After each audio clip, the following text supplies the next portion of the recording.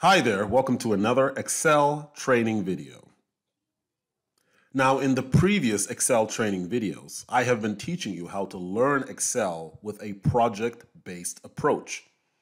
What I mean by this is figure out the projects that you're trying to do and then use Excel to facilitate that process. Don't go off and just learn every feature, every tab, every formula in Excel without even knowing what you really need to use it for. You'll just be memorizing stuff and you'll forget it later. With a project-based approach, when you have a project, use Excel to facilitate what you're trying to do. Whether it's at work, whether it's at home, just in general in life. In the past, I've shown you how to do this with a project management template. I've shown you how to do this with a cryptocurrency trade sheet and a stock exchange stock market trading sheet. And now I want to show you how to integrate generative AI into your Microsoft Excel sheet. Now, artificial intelligence is very hot right now. For those of you who don't know what artificial intelligence is, it is a technology that enables computers and machines to simulate human intelligence. And generative AI is a branch of artificial intelligence where the technology comes up with brand new information. So think ChatGPT or Google Bard. So in this video, I'm going to show you how to integrate generative AI into your Microsoft Excel sheet. Now, there's a couple of ways which Microsoft is using to integrate generative AI into Excel. One of them is through Microsoft Copilot. I'll talk about that in uh, the next video. And there's another way through what they call Microsoft Excel Labs.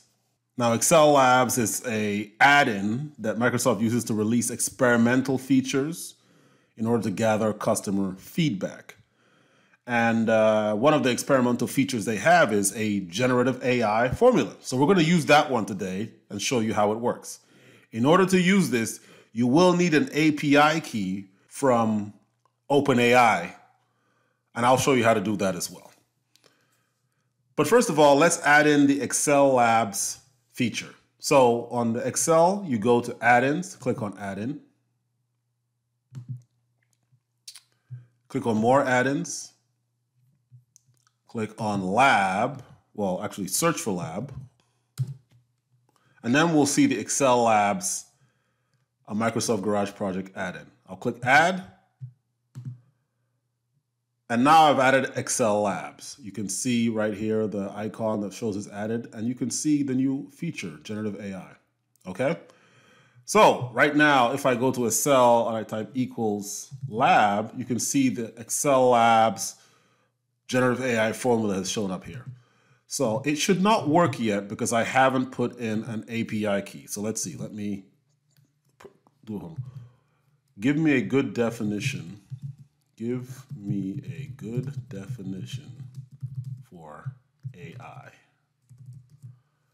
All right, so that's how it should work. That's the prompt, and let's see if it will work.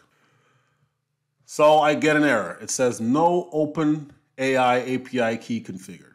So as I mentioned, you need to have an API key, and that's why it didn't work. So we can fix that by going to OpenAI and creating an API key.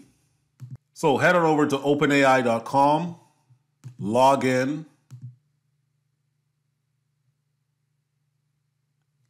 and then when you've logged in, select API, not ChatGPT, select API.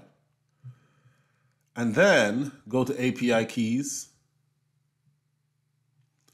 And here you will create a new secret key. So let's create a new secret key. Let's call this one Excel key. Create the key. And then copy the key that you just created. Then head over back to Excel. On the, on the generative AI, in the labs.generative AI tab on the right, go down to where it says configure API key and paste in that key that you just created. Now that it's pasted, let's try the prompt again give me a good definition for AI. Okay, so now it says it's busy. So let's wait. It should be running this, So let's see what happens. Okay, so this was processing my prompt for a very long time, almost a whole minute, and it came back with NA. Essentially, it came back with an error. In order to find out what my error was, I'll hover over the triangle and you can see the error. It says, you exceeded your current quota. Please check your plan and billing details. So, one thing I forgot to mention is that API calls cost money. So, uh, when you first sign up for your account, you should probably have, I think, $5 in there for free that will probably allow you to do your tests. But if you're someone like me where my usage has probably been used up or expired, then you will get this error. Let's head over let's head over to OpenAI to check this out. So we have the API keys. Let's head over to usage and you can see that uh, I can see that it's expired. Zero limit. So I'm not going to increase, I'm not going to pay to do this. I'm not going to increase my limit because I'm still on the free tier anyway. What I will do is create a brand new account and it should have enough usage on there for me to do this test. Okay, so I created a brand new account and as you can see, the state is available, it's not expired, so I should be able to do my test. So I'm going to come over here, create a new secret key, call this Excel key, create the key, copy the key, go back to Excel, go back to my API key, delete the old one, paste in the new one, and now I will try my prompt again.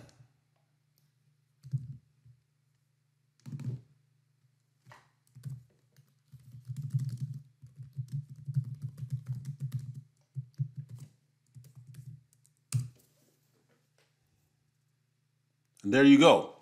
This time, it gave me a good definition of AI. You can see here, artificial intelligence refers to the simulation of human intelligence processes by machines, typically computer systems. This includes learning, reasoning, problem solving, perception, and decision making.